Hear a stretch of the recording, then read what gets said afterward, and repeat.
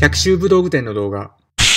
こんにちは、百秋武道具店のうがです。やってますか？ウォー今日はいつもとちょっと雰囲気を変えて、大人の人とお話がしたいです。大人で剣道やってる人、社会人剣士の人とお話できればなと思ってます。ここ最近稽古してて、普段の稽古がマンネリ化してるとか、もう何ヶ月も上達してない気がするとか、そんなことないですか？もう偉そうなこと言うつもりないんですけども、ほんと生意気に聞こえたら申し訳ないんですけど、一緒にお話ししましょう。以前の僕がもうその通りだったんです。剣道13年間ブランクあって、再開して、もう5段も取れればそれでいいやと思って、そこからもう上達を諦めてた、違うな、拒絶してたんですよね。もうそんなのはいいやっていう時期があったんです。あ、僕は大学で剣道やってないからなとか、ブランクがあるからなとか、子供たちの指導が毎週あるからなとか、楽しくやれればそれでいいやとか、自分自身でそういう何かと理由を、言い訳を作って、自分自身が上達するのをもううね、諦めてたっていうか拒絶してたんですよね。本当はもっともっと上手になっていきたいと思ってるんじゃないですか？やっぱりどっかのタイミングで現状をこう打破して一皮むけて剣道上手になりたい。次のレベルに行きたいって思ってると思うんですよ。それでもう一回もう一歩上に行くために見直してほしい考え方っていうのは剣道っていうのはお稽古事なんですよ。お稽古事。先生がいて生徒がいる師匠がいて弟子がいるお茶とかお花とかと同じお稽古事だとしたら普段皆さんが稽古してる環境が、もう八田の先生もいらっしゃってって言うんだったら、もうね、それ、もう文句なし、もう最高の環境だと思うんですけども、ほとんどがやっぱりそうじゃないと思うんですよ。我々のような地方に住んでる一般の愛好家だとそうはいかないと思うんです。僕なんか35過ぎるまで八田の先生見たことなかったから。もちろん稽古もしたこともないし見たこともなくて、だから初めて八田の先生見た時にびっくりしたんだから。そんな僕が5年ぐらい前かな、海外、イタリアで、その八田の先生のカバン持ちを1週間やったことがあるんですよ。まあ、向こうで稽古して、その後に、まあ、八田の先生二人いらっしゃって、そのお一人から言われました。あ、うがちゃん、うがちゃんねって。うがちゃんのところは、防具はいいけど、うがちゃんの剣道は全然だねって。一回今の稽古の環境を見直した方がいいよって言われました。そしてもう一人の先生からは、うがちゃんね、剣道は3年休んで師匠を探せって言われてるんだよって言われました。その時はもう全然あんまりピンとこなかったんですけど、よーくもうその後何ヶ月も頭から離れなくて考えてたら、ようやくその意味が分かってきたんです。例えば6段7段を狙ってる人が普段の稽古の中で4段5段の人ばかりとしか稽古できないってなるとそれはちょっと厳しいところありますよねいい先生上の先生っていうのはやっぱり向こうからは来てくれることってないんですよ。こっちからどんどん稽古会とかに参加していかないといけないです。ただ、たとえそういう稽古会にね、なんとか時間作って行ったとしても、そういうすごい先生だったら、他にも稽古お願いしたい人なんて山ほどいますから、その中に埋もれてしまって、やっぱり稽古ありがとうございましたの一言で終わっちゃうことがほとんどだと思うんです。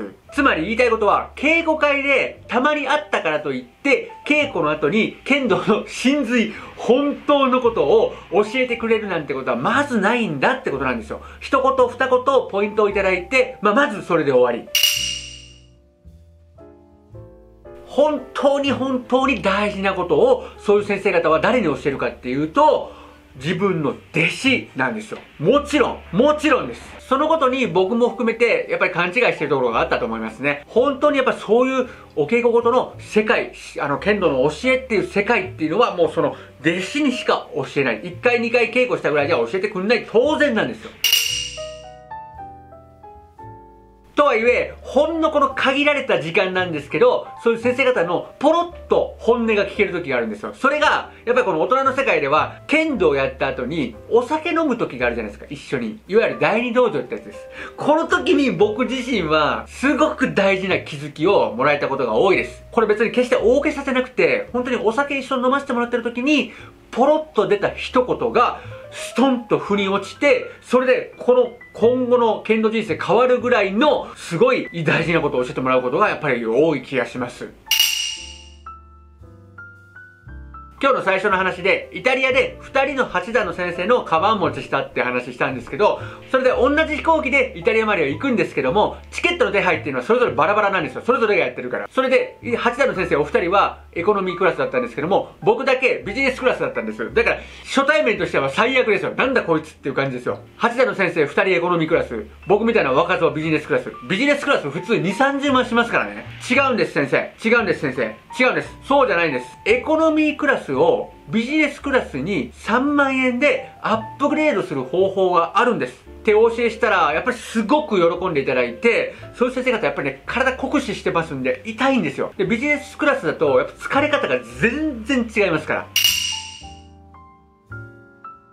僕がやっぱり今日お話したいのは、いろいろやっぱり賛否両論あると思いますけど、エコひいきされろってことなんですよ。もっと言うなら、癒着せよってことなんです。文字通り癒着するんです。八田の先生と LINE の友達になってください。夜の10時に電話かかってくる。お風呂入ってても寝てても取る。そういう間柄になってください。今の現状を変えたかったら、今と違うこと、やっぱりやってください。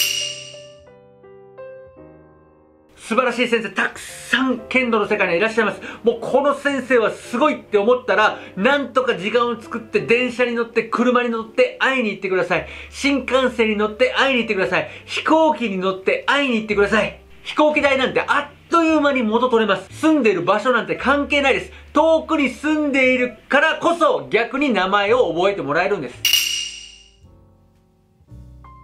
そのためにはやっぱり準備が必要です。やっぱりどこかのタイミングで自分の稽古を一回見直さないといけません。僕が全くその通りだったからめちゃくちゃ気持ちわかるんです。僕が3段とか4段とか5段だった頃に、やっぱり普段の稽古の中で7段の先生相手に試合みたいな、打った打たれたっていう稽古してたんですよ。打たれるのが嫌だから自分から進んで打っていかないんですよ。これは結局、習いに行ってるんだっていう気持ちがなかったからなんですよ。結果、すごい遠回りしました。それで今どういう稽古をしてるかっていうと、僕の通ってる道場っていうのは周り稽古主体なんですよね。その周り稽古の中で7段の先生当たったら、もう前半か後半かどちらかはもうかかり稽古みたいに打たせてもらってるんですよ。そうすると、もう100%返されるんです。出花取られる。乗ってこられる。いいんですよ。だって習いに行ってるんだから。で、パッと横を見ると、中学生が何頑張ってんのみたいで目で見てるんですよ。で、中学生息上がってないんですよ。僕ばっかぜいぜいぜいぜいって。それでいいんですよ。習いに行ってるんだから。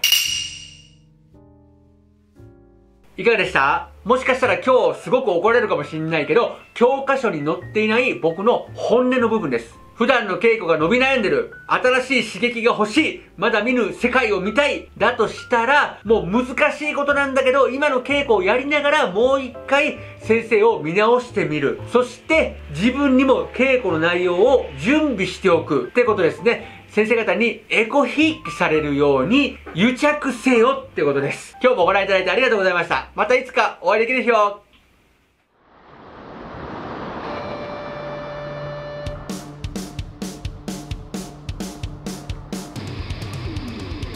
まだ当店の無料カタログを見たことがない人、防具を買う買わないなんて小さいことは関係ないです。